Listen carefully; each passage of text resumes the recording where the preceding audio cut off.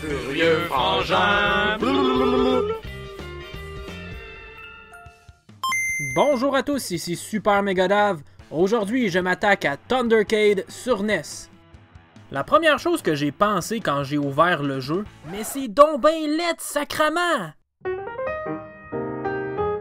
En voyant ça, j'ai décidé de sortir la cassette, souffler dedans, résultat, aucun changement. Donc, j'ai décidé de sortir la cassette, je l'ai lavé avec un Q-tip, résultat, aucun changement. Alors, j'ai sorti la cassette, j'ai crié après, viré la console de côté, je l'ai mis à 450 dans le four, résultat, aucun changement. J'en ai donc déduit que ce n'était pas un glitch, le jeu est tout simplement né avec une déformation graphique. Mais à côté de ça, là, le petit Jérémy, il est... Cette blague a été retirée du montage par manque d'argent pour payer les poursuites. Merci. Mais qui qui a pensé à faire les rues bleues poudre? Où est-ce qu'il est, le petit bonhomme? Il y en a trois qui sont impliqués là-dedans. Mais comme on dit, pas besoin d'être beau pour être bon, hein? Thundercade, c'est un shoot'em up à la verticale où l'on contrôle un gars à moto équipé d'un fusil. L'objectif est de terminer les quatre tableaux et de tuer tout le monde. Quand même, je dois leur donner, le système de power-up est assez cool. On équipe notre moto avec des fusils de chaque côté, et pour équiper un bord en particulier, il suffit de ramasser le power-up avec le côté voulu. Aussi, les pièces ajoutées servent d'armure car si une balle les touche, on les perd mais on ne perd pas de vie. Seule la moto principale doit être touchée pour perdre une vie. Il est également possible de collecter des armes plus puissantes avec les icônes rouges. Pour faire apparaître les power-ups, il faut démolir l'environnement, littéralement l'environnement, parce que tu sais, l'argent pousse pas dans les arbres, mais les pièces de moto, oui.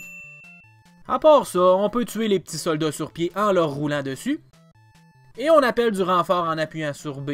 Mais ça doit être un singe qui pilote l'avion parce que mon dieu que c'est pas efficace, Seigneur! Euh, donc euh, j'ai dit à ma femme de... Oh mon dieu, on nous attaque! Je vais te prendre un 649.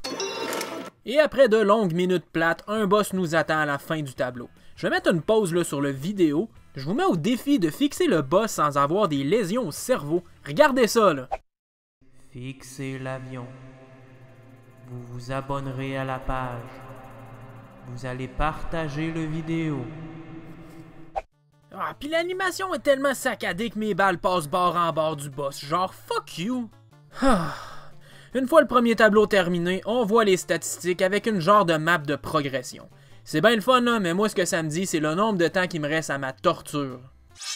Et si vous pensiez que le deuxième tableau allait être plus beau que le premier, Qu'un mon esti, un beau gros champ de bataille jaune pisse, avec des je sais pas trop quoi vers vomi. Pour vrai, là, c'est exactement la même chose encore. Des ennemis inutiles, un boss statique, saccadé et des décors pourris.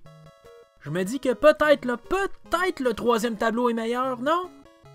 Oh, en plus, t'as seulement trois continues pour terminer le jeu, donc même après des heures de jeu, j'ai même pas été capable de voir plus loin que ça. Sérieux là, la version NES est affreuse. Tant qu'à jouer à Thundercade, jouez sur l'arcade parce que oui, le jeu est initialement sorti sur l'arcade deux ans auparavant. Regardez la différence, c'est 100 fois mieux.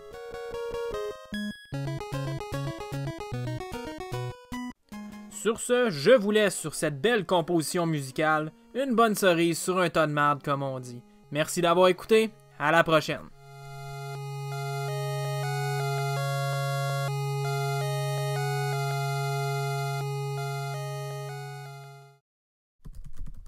acheter un jeu NES aléatoire pour 10 pièces?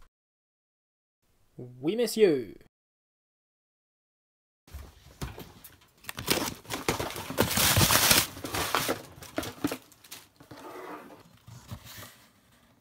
Oh, oh.